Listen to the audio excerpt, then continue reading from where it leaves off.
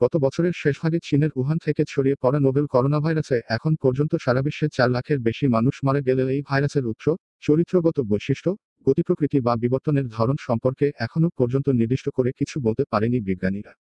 এই ভাইরাস কোন ধরনের সমতলে কতক্ষণ বেঁচে থাকে, হাঁচি, কাশির মাধ্যমে কত দ্রুত ছড়ায়, কোন ধরনের আবহাওয়া বা তাপমাত্রায় প্রকোপের কতটা তারতম্য হয় এই বিষয়গুলো সম্পর্কে বিশেষজ্ঞরা এক একবার এক এক মত দিয়েছেন, আবার নতুন গবেষণা প্রকাশিত হওয়ার প্রেক্ষিতে দফায় দফায় বিশেষজ্ঞদের মত পরিবর্তন করার ঘটনাও ঘটেছে। শুরুতে একসময় মানুষের ধারণা ছিল যে উচ্চ তাপমাত্রায় এই ভাইরাস বেশিক্ষণ টিকে থাকতে পারে না, তবে এই দাবির কোনো প্রমাণ বৈজ্ঞানিক ভিত্তি পাওয়া যায়নি শেষ পর্যন্ত। সেরকম আরেকটি ধারণা হলো, ফ্রিজের ভেতরে অন্যান্য স্থানের তুলনায় অপেক্ষাকৃত বেশি সময় ভাইরাসটি বেঁচে থাকতে পারে। তবে করোনা ভাইরাস সংক্রান্ত অন্যান্য মতবাদের মতো এই বিষয়টি নিয়েও শতভাগ নিশ্চিত হতে পারেনি বিজ্ঞানীরা। ফ্রিজে কি করোনা ভাইরাস বেশি সময় ধরে টিকে থাকে? এর আগে যেসব করোনা ভাইরাস পরিবেশে ছিল, সেগুলোর কয়েকটি প্রজাতি হিমাঙ্কের নিচে তাপমাত্রায় পুরোপুরি কার্যকরভাবে বেঁচে না থাকলেও স্থিতিশীল অবস্থায় টিকে থাকে বলে প্রমাণ পেয়েছিল বিজ্ঞানীরা।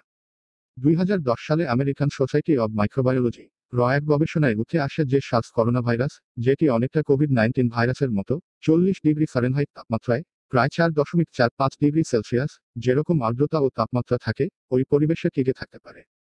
সাধারণত গৃহস্থালিতে যেসব রেফ্রিজারেটর ব্যবহার করা হয়, সেগুলোতে এই তাপমাত্রা থাকে। গবেষণায় উঠে আসে, তাপমাত্রা চার ডিগ্রি সেলসিয়াস এবং আর্দ্রতা বিশ শতাংশের নিচে হলে সার্স করোনা ভাইরাস প্রায় আঠাশ দিন পর্যন্ত বেঁচে থাকে, যেখানে তাপমাত্রা চল্লিশ ডিগ্রি সেলসিয়াস আর আর্দ্রতা আশি শতাংশ হলে ভাইরাসটির স্থায়িত্বকাল থাকে ছয় ঘণ্টার মতো। অনেক বিশেষজ্ঞ এই প্রমাণের উপর ভিত্তি করে আর পরবর্তী গবেষণার জন্য অপেক্ষা না করে ফ্রিজ ব্যবহারে সতর্ক থাকার পরামর্শ দিচ্ছেন। তারা বলছেন, কাছাকাছি প্রজাতির একটি করোনা ভাইরাস যেহেতু ফ্রিজে দীর্ঘদিন বেঁচে থাকতে পারে, কাজেই নোবেল করোনা ভাইরাসেরও একই বৈশিষ্ট্য থাকার সম্ভাবনা রয়েছে। স্যান ফ্রান্সিসকোর গ্ল্যাডস্টোন ইনস্টিটিউটের রিসার্চ সায়েন্টিস্ট ও ভাইরোলজিস্ট ডক্টর ওয়ার্নার গ্রিন গত এপ্রিলে মার্কিন সংবাদ সংস্থা এনবিসিকে দেয়া এক সাক্ষাৎকারে বলেন করোনা ভাইরাস চরিত্রগতভাবে একটি আঠালো ভাইরাস। এই সার্স ভাইরাস বিভিন্ন সমতলে আশ্চর্যজনকভাবে লম্বা সময় টিকে থাকে। বঙ্গবন্ধু শেখ মুজিব মেডিকেল বিশ্ববিদ্যালয়ের সাবেক উপাচার্য ও ভাইরোলজিস্ট নজরুল ইসলাম বলেন, নোবেল করোনা ভাইরাস ফ্রিজে কতদিন বেঁচে থাকতে পারে সে সম্পর্ক না জানা গেলেও ফ্রিজের আবহাওয়ায় অন্য জায়গার তুলনায় অপেক্ষাকৃত বেশি সময় বাঁচতে পারে বলে ধারণা করা যায়। তিনি বলেন, এটি যেই ধরনের ভাইরাস, তা সাধারণত ফ্রিজের পরিবেশে বেশি সময় বাঁচতে পারার কথা। কিন্তু সেখানে ঠিক কতদিন বাঁচতে পারবে, এ ধরনের কোনো গবেষণা এখনও নেই। তবে শ্বাস করোনা ভাইরাস নিয়ে করা গবেষণার ভিত্তিতে নোবেল করোনা ভাইরাসের বৈশিষ্ট্য সম্পর্কে ধারণা তৈরি করতে চান না বিশেষজ্ঞদের অনেকেই। এপ্রিলে অস্ট্রেলিয়ার এবিসি রেডিওকে দেয়া এক সাক্ষাৎকারে অস্ট্রেলিয়ার deputy chief medical officer Michael Kidd বলেন, নোবেল করোনা ভাইরাস ফ্রিজে টিকে থাকতে পারে কিনা আর থাকলেও কতক্ষণ টিকে থাকতে পারে, তা গবেষণার আগে বলা সম্ভব না। তিনি বলেন শ্বাস করোনা ভাইরাস নিয়ে গবেষণা হলেও নোবেল করোনা ভাইরাস সম্পর্কে তেমন কোনো গবেষণা হয়নি। কাজেই আমরা নিশ্চিতভাবে জানি না যে এই ভাইরাসটির বৈশিষ্ট্য সার্স করোনা ভাইরাসের মতো কিনা। তাই তিনি ফ্রিজ ব্যবহারের ক্ষেত্রে কিছু সাধারণ সতর্ক অবলম্বন করার পরামর্শ দেন। ফ্রিজ ব্যবহারের ক্ষেত্রে কি ধরনের সতর্ক নেবেন?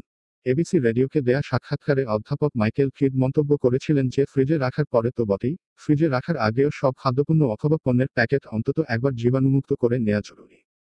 বাইরে থেকে বাজার ঘরে এনে ফ্রিজে রাখার আগে জীবাণুমুক্ত করার পাশাপাশি বারবার হাত ধোয়ার বিষয়টিও মনে রাখতে হবে সবাইকে, বলেন মাইকেল কিড শ্বাস করোনা ভাইরাসের মতো, ফ্রিজে রাখা খাদ্যপণ্যের গায়ে বা প্যাকেটে নোবেল করোনা ভাইরাস লেগে থাকলে তা সপ্তাহ চারেক বেঁচে থাকতে পারে বলে মনে করেন অনেক বিশেষজ্ঞ। তাই বাজার করার পর পণ্য ফ্রিজে রাখার আগে ও ফ্রিজ থেকে বের করার পর তা জীবাণুমুক্ত করার ব্যাপারে জোর দিচ্ছেন বিশেষজ্ঞরা। ভাইরোলজিৎ নজরুল ইসলাম বলেন ফ্রিজে রাখা খাবারের প্যাকেট বের করার পর প্যাকেটটি জীবাণুনাশক মেশানো কাপড় দিয়ে ভালো করে মুছে নেওয়া প্রয়োজন। ফ্রিজে রাখা শাকসবজি রান্না করার আগে কিছুক্ষণ সাবান মিশ্রিত পানিতে রেখে ধুয়ে নেয়ার উপদেশ দেন তিনি। তবে মাছ বা মাংসের ক্ষেত্রে তা সম্ভব নয় বলে মাছ, মাংস যেই প্যাকেটে বা পাত্রে রাখা হবে, সেটিকে জীবাণুমুক্ত করে নেওয়া জরুরি বলে মন্তব্য করেন তিনি।